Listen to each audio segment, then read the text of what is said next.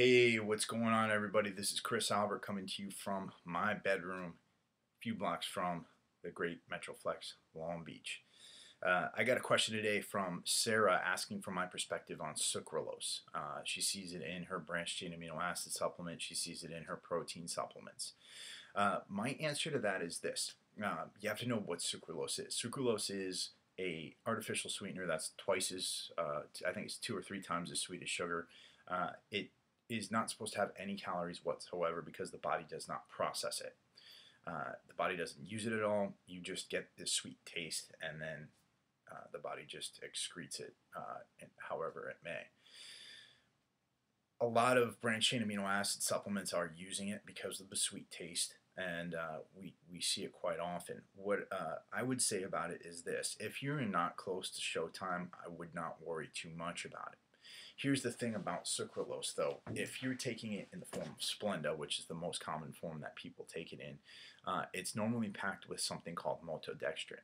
Maltodextrin is derived from corn, and it's pretty much the same thing as glucose, meaning it's the same thing as sugar. You're getting the same calorie content. So when you're looking at your supplements, uh, particularly if you look at uh, a supplement like Scivation Xtend here, um, what you want to look at is to see one uh, if there's anything else in there with the sucralose. Yes, there is. There's uh, citric acid, natural flavors, sucralose, soy lecithin as an emulsifier, uh, as, uh, acesulfame pro, uh, potassium, which is also known as ACE-K, FD&C Blue, Blue Lake number one, that's the coloring, and uh, FD&C Red Lake number 40, that's the other coloring. Now, uh, there's a little bit of filler in here, but then if we look at the label, we notice that there's no calories, no fats, no carbohydrates, or anything like that. So you always want to look at the sugar content, and if it says, even if it says zero sugar, you want to see if there's anything packed in there like maltodextrin, uh, and that could be where your hidden calories are coming from. If you really, really want to be safe, safe and you're close to showtime, go with your branched chain amino acids in pill form, but you still want to look for that maltodextrin rice powder packer that they use.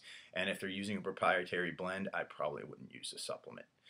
Uh, you want to see exactly what's in there. You want to see exactly what the ratio of branched chain amino acids is in there. And they talk about uh, all the different things on this label here. Uh, if you have any other questions for me regarding artificial sweeteners, nutrition, uh, anything at all, please hit me up. I am here. I'm freaking shredded. I'm getting ready for my show. And I will probably be doing about three or four more videos tonight because I'm crackhead right now. Uh, love you guys. Hit me up. Talk to you later.